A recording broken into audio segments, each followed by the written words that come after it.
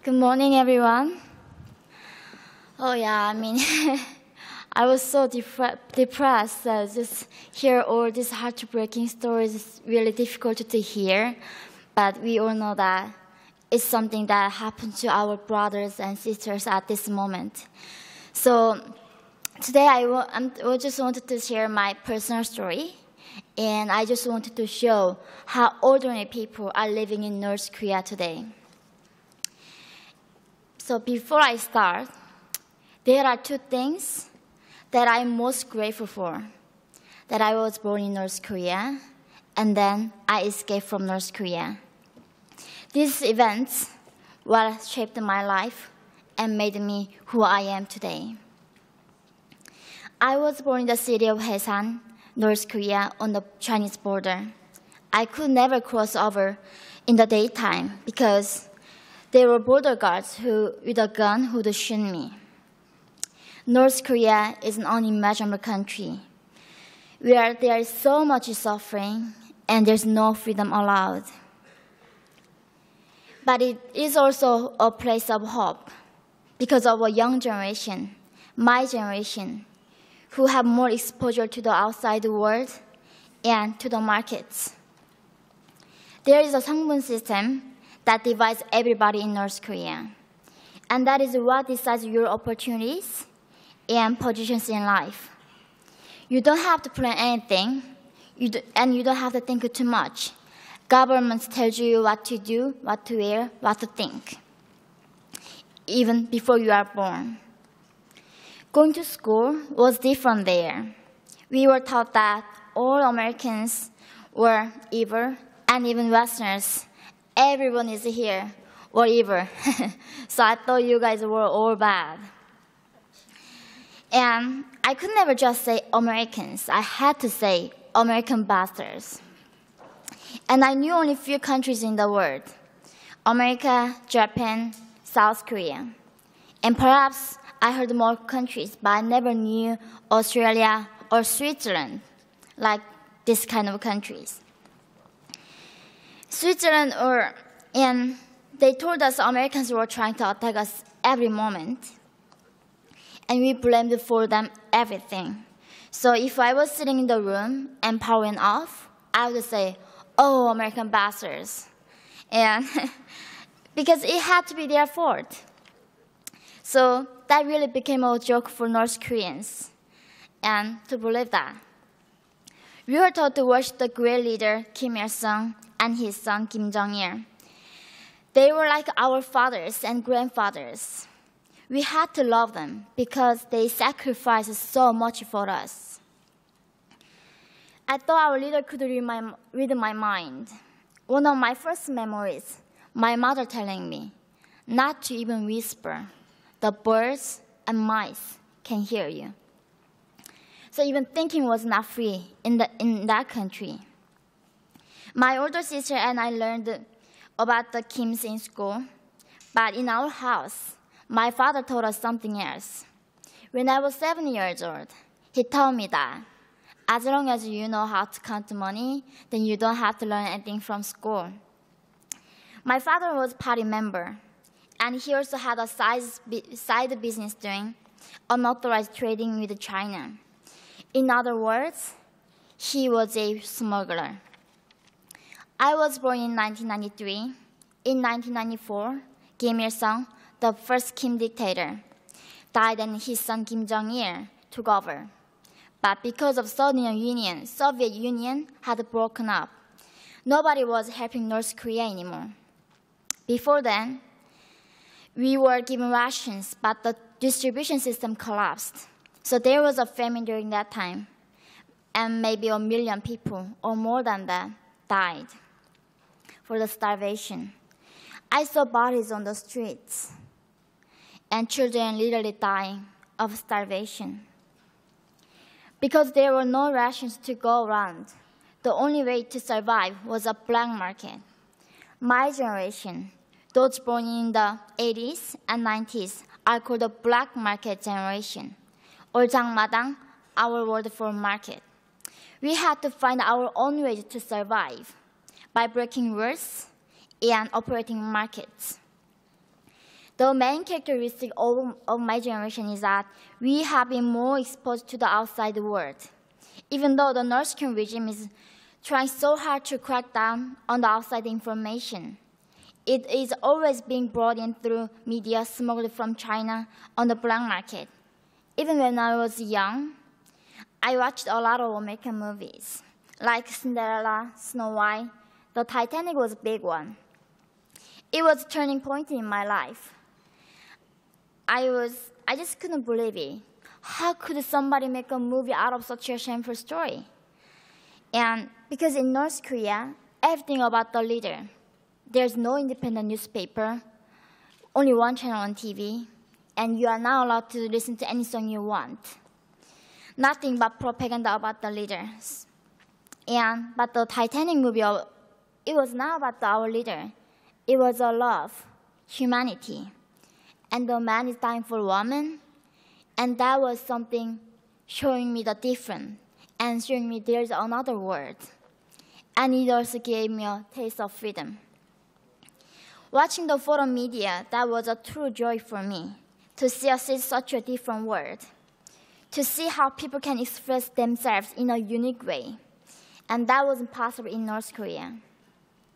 In North Korea, the government tells us what to say, what to wear, what to watch, what kind of music to listen to. We can wear jeans, we can dye, hair, dyeing our hair, and can dance the, day, the way we want. But we watch the movies where people can do whatever, whatever they want. They can express themselves freely. These things are really changing the young generation in North Korea today. They see the movies. They wanted to wear jeans. They wanted to dye their hair.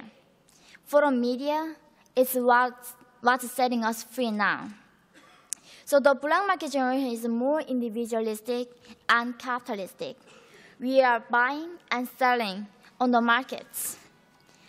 And here's an important point. Once you start trading for yourself, you start thinking for yourself. And that's a big threat to the totalitarian, totalitarian government in North Korea. Markets undermine the Songbun system, where the North Korean puts people into strict classes. Before, the government decides who would survive and who would starve. But the markets that take that away from the government's control. In 2002, my whole world came crashing down. My father, my hero, was got arrested his black market trading. And he was sent to a labor camp, and suddenly our lives were destroyed. In North Korea, my father sins my sins, so I'm guilty too. I was a criminal's daughter. There was no way I could have a bright future anymore. My father was tortured in prison camp, and he got very sick. It was colon cancer. But we didn't know at that time he managed, but he managed to bribe later and he came out to get treatment.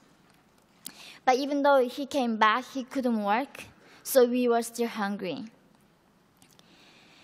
With no hope, with no food, in 2007, our family decided to escape. My sister left first, and my mother and I followed later. At that time, I had no idea how it would be in China. I just thought it would be have some food, something to eat there, and I wouldn't starve. That's how I was thinking. I was so naive. Things got even worse for us in China. My mother and I crossed the frozen river at night, only to learn right away that we were tricked, tricked by human traffic, traffickers. The Chinese broker wanted to have sex with me when I was 13 years old, when I even didn't know the word of sex. My mother sacrificed herself in order to protect me. I saw her raped in of my eyes.